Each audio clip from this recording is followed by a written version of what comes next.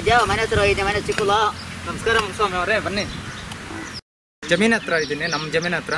ಕೆಲಸ ಇದೆ ಇಲ್ಲಿ. ಹಸುಗಿಗೆಲ್ಲ ಮೇವಿಗೆಲ್ಲ ಜೋಳ ಹಾಕ್ಬೇಕು. ಅದಕ್ಕೆ ಇದ್ದೀನಿ. ಪೈಸಕ್ಕ ಇದೆಲ್ಲ ಏನು ಬೋಲ್ ಮಾಡಿದ್ದೆಲ್ಲಪ್ಪ ಕೃಷಿ ಮಾಡಿ ಮಾಡಿಸಿದ್ಯಾ? ಬೆ ಬೆಳೆ ಮಾಡಿದ್ಯಾ? ಬನ್ನಿಗಿರಿ ಹೊಡಿದ್ಯಾ ಬೆಣ್ಣಿಗಿರಿ ಹೊಡಿದ್ಯಾ ಹಾಂ ಯಾರಪ್ಪ ಇದು? ಇದೆಲ್ಲ ಏನಪ್ಪ? ಯಾರು ಕಳ್ಸಿಕೊಟ್ಟಿದ್ದು? ಯಾರು ಕಣ್ಣಿಗೆ ಇದು? ಇದನ್ನು ಏನು ಅಭಿವೃದ್ಧಿ ಮಾಡಿದ್ಯಪ್ಪ? ಕೋಲ ಇಕ್ರಿ ಸೈಡ್ ಮೈರೋಡ. ಈ ಸಂಸ್ಥೆಯವರು ಬಂದು ನಮಗೆ ಮಾಹಿತಿ ಕೊಟ್ಟರು ಈ ಥರ ಮಾಡಿ ಅಂತ. ಅಶೋಕ ಏನಪ್ಪ ಏನೇನೋ ಮಾಡ್ತಿದ್ದೀರಪ್ಪ ಏನಪ್ಪ ಇದು?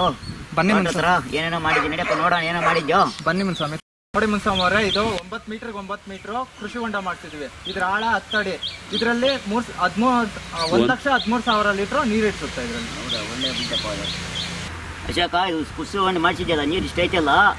ಏನೇನು ಬೆಳೆ ಮಾಡ್ತಾ ಇದೀಯಾ ಇದರಲ್ಲಿ ನಾನು ಅದು ಹಸುಗಳಿಗೆ ಎಲ್ಲ ನೀರಾಗುತ್ತೆ ಮತ್ತು ತರಕಾರಿ ಎಲ್ಲ ಬೆಳೆದಿದ್ದೀನಿ. ಎಲ್ಲ ಹಸುಗಳಿಗೆಲ್ಲ ಜೋಳ ಎಲ್ಲ ಹಾಕೊಂಡಿದ್ದೀನಿ. ದನಕರುಗಳು ನೀರಾಗುತ್ತೆ. ಎಲ್ಲ ವ್ಯವಸ್ಥೆನೂ ಇದೆ ಕೃಷಿ ಹೊಂಡದಲ್ಲಿ. ನೋಡಿ, ಇದರಲ್ಲಿ ಜೋಳ ಹಾಕಿದ್ದೀನಿ. ಕಡಲೆಕಾಯಿ, ತೊಗರಿ ಬೆಂಡೆಕಾಯಿ ಗಿಡ, ಬದನೆಕಾಯಿ, ಮೆಣಸಿನ್ಕಾಯಿ ಎಲ್ಲ ಹಾಕ್ಕೊಂಡು ಸುತ್ತು ಎಬ್ಬೆವು ಹಾಕಿದ್ದೀನಿ.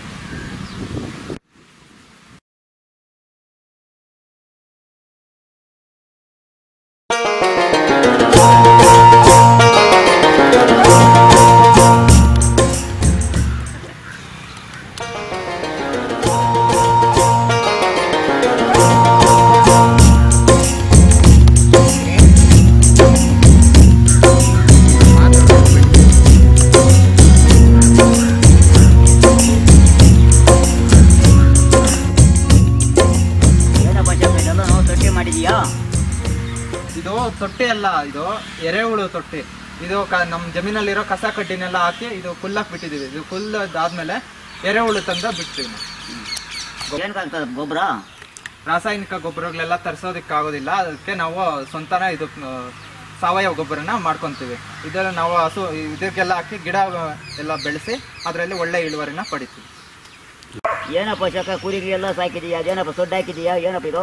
ನೋಡಿ ಮುನ್ಸಾಮ್ ಅವರೇ ನಾನು ಕುರಿ ಮೂರು ಕುರಿ ಸಾಕಿದ್ದೀನಿ. ಇದು ಎಲ್ಲ ಮಾರಾಕಿದ್ದೀವಿ ಇದರಲ್ಲಿ ಒಂದು ಕುರಿನಲ್ಲಿ ಇಂಪ್ರೂವ್ಮೆಂಟ್ ಆಗಿರೋದು ಮತ್ತೆ ಮೇಕೆ ಒಂದು ಸಾಕಿದ್ದೀನಿ. ಅಲ್ಲಿ ಕೋಳಿಗಳಿಗೆ ಇವಾಗ ನಾಟಿ ಕೋಳಿಗಳಿಗೆ ಡಿಮ್ಯಾಂಡ್ ಜಾಸ್ತಿ. ಅದಕ್ಕೆ ನಾನು ನಾಟಿ ಕೋಳಿ ಸಾಕಿದ್ದೀನಿ. ಹೌದಾ? ಬಾ ಬಾ ನೋಡೋಣ.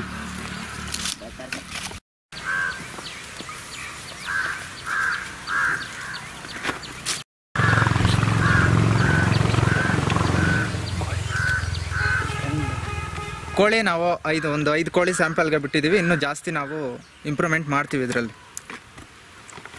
ಏನಪ್ಪ ಇದು ಸೊಡ್ಡು?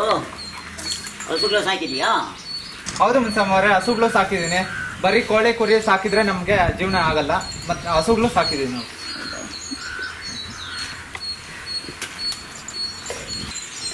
ಏನಪ್ಪ ಹಸುಗಳೆಲ್ಲ ಚೆನ್ನಾಗಿ ಇಂಪ್ರೂವ್ ಮಾಡಿದ್ಯಾ? ಚೆನ್ನಾಗಿ ಸಾಕೊಂಡಿದ್ಯಾ? ಚೆನ್ನಾಗಿ ಅನುಕೂಲ ಆಗಿದೆಯಪ್ಪ. ಹೌದು ಮುನ್ಸಮ್ ಅವರೇ, ಹಸುಗಳು ಸಾಕಿದೀನಿ ನಾನು. ಮೊದಲು ನಾವು ನೀರು, ಎಲ್ಲ ಟ್ಯಾಂಕರ್ ಮುಖಾಂತರ ಹಸುಗಳಿಗೆಲ್ಲ ಕುಡಿಯೋದಕ್ಕೆ ಎಲ್ಲ ಬಳಸ್ತಾ ಇದ್ವಿ. ಈಗ ನಾವು ಕೃಷಿ ಹೊಂಡ ಮಾಡಿದ್ರಿಂದ ಅದು ನಮಗೆ ತುಂಬಾನೇ ಹೆಲ್ಪ್ ಆಗಿದೆ ಹಸುಗಳಿಗೆ. ಜಕ ಏನಪ್ಪ ಇವಂತ ಬರಗಾಲದಲ್ಲಿ ನಾನು ಬೋರ್ ಹಾಕ್ಬೇಕಂತಿದ್ದೀನಿ? ಸಾವಿರದ ಐನೂರು ಹಾಕಿದ್ರೆ ನೀರು ಸಿಗ್ತಾ ಇಲ್ಲ. ಈಗ ಕೃಷಿ ಹೊಂಡ ಮಾಡಿಸಿದ್ದೀಯಾ? ಒಳ್ಳೆ ಬೆಳೆ ಬಿತ್ತ ಮಾಡಿದ್ದೀಯಾ? ಒಳ್ಳೆ ಚೆನ್ನಾಗಿ ಅನುಕೂಲ ಮಾಡಿದ್ದೀಯಾ? ಇವು ಇಂಥ ಬರಗಾಲದಲ್ಲಿ ಮಾಡಿದ್ದೀನಿ ಕೋಲಾರ ಜಿಲ್ಲೆನೇ ಬರಗಾಲ? ಆದರೂ ಏನು ಅನುಕೂಲ ಪಡ್ಕೊಂಡಿದ್ಯಾ ನಾವು ಮಾಡ್ಬೇಕಂತಿದ್ದೀನಿ, ಮಾಡಿ, ಮಾಡ್ತೀನಿ. ನೋಡಿದ್ರಲ್ಲ ರೈತರೇ, ಕೋಲಾರ ಜಿಲ್ಲೆಯ ಮುದುವತಿ ಎಂಬ ಗ್ರಾಮಕ್ಕೆ ಒಳಗೊಡುವಂಥ ಕೊನೆಪುರ ಎಂಬ ಹಳ್ಳಿಯಲ್ಲಿ ಬರಗಾಲದಲ್ಲೂ ಈ ಒಂದು ಏನು ಅಶೋಕ್ ಎಂಬ ರೈತರು ತಮ್ಮ ಜಮೀನಿನಲ್ಲಿ ಕೃಷಿ ಹೊಂಡ, ಎರೆಹುಳ ಗೊಬ್ಬರ, ಕುರಿಗಳ ಸಾಕಣೆ ಕೋಣಿಗಳ ಸಾಕಣೆ ಹಾಗೂ ಹಸುಗಳ ಶೆಡ್ಡು, ಹಸುಗಳು ಸಾಕಿದ್ದಾರೆ ಮತ್ತು ಇದಕ್ಕೆಲ್ಲ ಬೇಕಾಗುವಂಥ ನೀರನ್ನು ಕೃಷಿ ಹೊಂಡದಲ್ಲೇ ಶೇಖರಣೆ ಮಾಡಿ ಇದರಿಂದ ತಮ್ಮ ಜೀವನ ನಡೆಸ್ತಾ ಇದ್ದಾರೆ.